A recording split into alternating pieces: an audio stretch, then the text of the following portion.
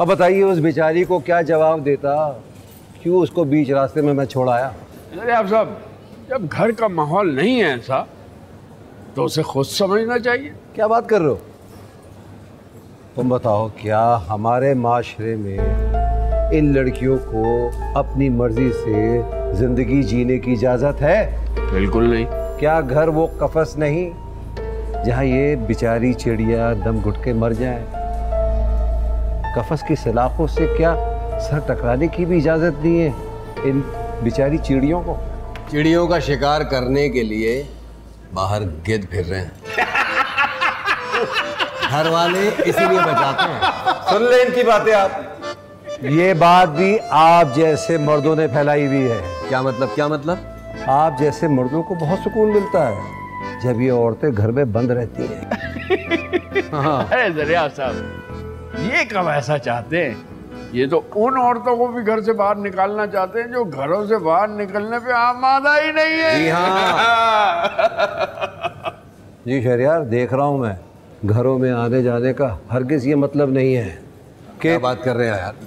मैं तो खवातीन की बड़ी इज़्ज़त करता हूँ कदर करता हूँ। जी, जी जी जी। जी जी मैं तो गवाह हूँ इसका। बहुत अच्छी तरह जानता हूँ। खैर छोड़ो। उस बिचारी का अदबी और शेरी सफ़र बस यहीं तक था फ़कत एक मुशायरा। क्या कहते हैं? हसरत उन गुंचों पे जो बिन खिले मुरझा गए। हैं? गोया मुरझा भी गई। हाँ हाँ ज़ाहिर है। जब हमारा सर से हाथ हट गया मुरझा ही गए ना। बेशक बेशक। वो ऐसा है कि भाई जब तक सूरज की रोशनी इन कलियों तक पहुँच रही है तो खिलती रहेंगी। तमाजत बढ़ जाए तो कुमला जाती है। कुछ ऐसे ही हुआ होगा। तमाजत ज़्यादा हो गई होगी। वाह, वाह, क्या बात एक ही मुलाकात में कहाँ से कहाँ। पहुँचा दिया? ये तो होना ही था।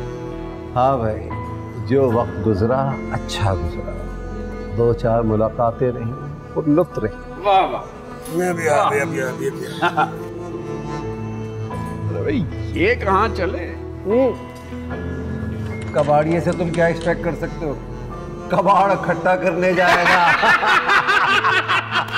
बस बस ये चलने चाहिए क्या बात है?